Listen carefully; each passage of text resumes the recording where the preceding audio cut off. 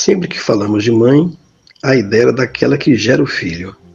Mas tem mãe de todo jeito. Tem a mãe que gera e a mãe que cria.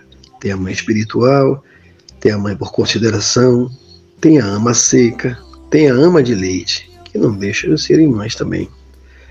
Nossa sociedade vive em perene processo de transformação e, por conta disso, temos as mães de ocasião, como irmãs mais velhas que se tornam mães por necessidade, seja ela pela ausência da mãe por motivos temporários ou perpétuos. E há quem tenha duas mães. E isso é um privilégio para poucos. Ter em dobro um amor tão importante ao longo de nossas vidas nos faz sentir ainda mais protegidos. Muitas vezes, o ato de entregar um filho para adoção, por não conseguir arcar com suas despesas básicas, vem revestido de nobreza espiritual e, sobretudo, materna, não importando a maneira da concepção do filho.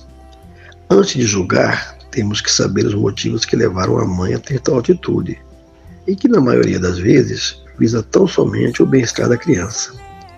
Ninguém, absolutamente ninguém, substitui o afeto e o carinho de uma mãe. Por mais que se dispense carinho a um filho, o amor materno é imensurável. Agora imagine ser cuidado por duas mães. É sobre isso. É sobre mãe e mães.